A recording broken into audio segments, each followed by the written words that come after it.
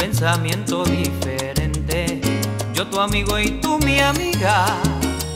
Simplemente nunca hubo un abrazo, un beso, una caricia, ni miradas coquetas, solamente sonrisas inocentes. Y hoy parece que en tu mente sientes algo diferente. No me miras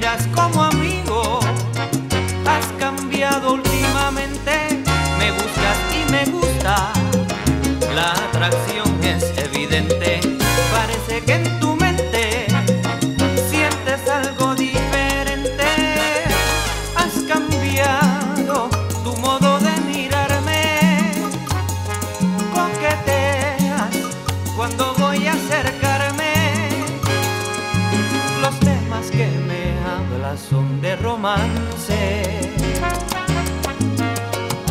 Y hoy parece que en tu mente sientes algo diferente